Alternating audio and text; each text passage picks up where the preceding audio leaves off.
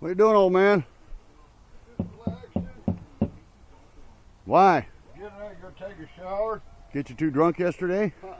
No? I think I got you. I think I got you too drunk yesterday. Uh-uh. Been cleaning and all that shit. Now I'm getting ready to go clean myself up and walk to town. Yeah? Right on. When is your surgery? Well, I, I'm going in Monday. Are you? Yeah. What do they got to do?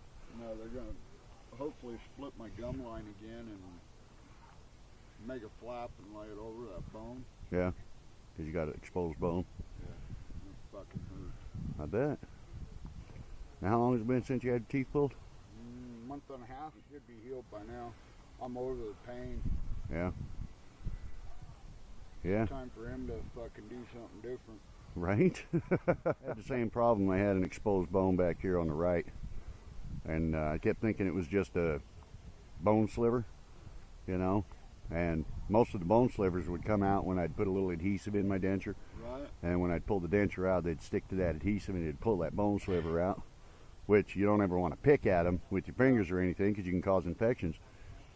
And I kept feeling that one with my tongue, and I finally went to the doctor, and he just split the gum open, shaved that down a little bit, sewed the gum back together. He said you just had a shard that was off of one of the sockets. It was just sticking straight out like Yeah, that. I got one down here right behind this bone spur, this bone that's hanging out.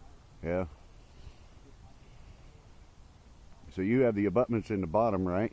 They drilled them in already the same day you had your teeth I pulled. four of them.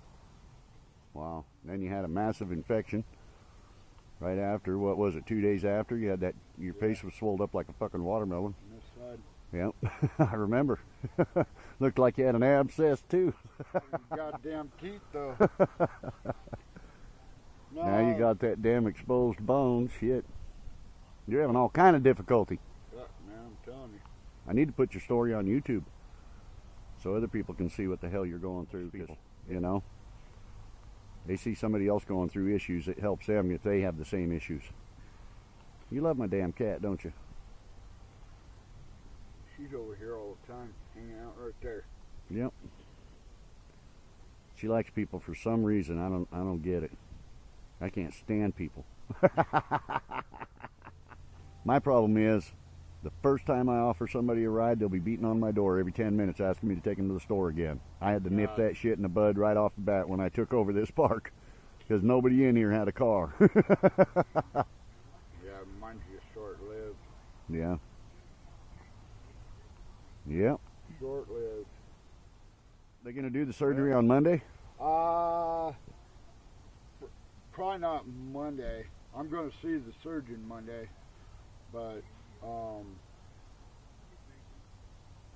I'm hoping it'll be done maybe Tuesday, Wednesday.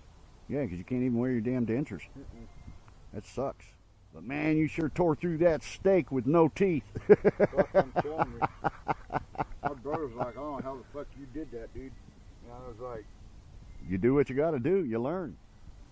Your body will adjust to the situation so you can eat, "Right." whether you have teeth or not. I see people all the time eating steaks in restaurants with no damn teeth, and I they see people eating they ain't had- apples with no teeth. yeah, and they ain't had teeth in 30 years.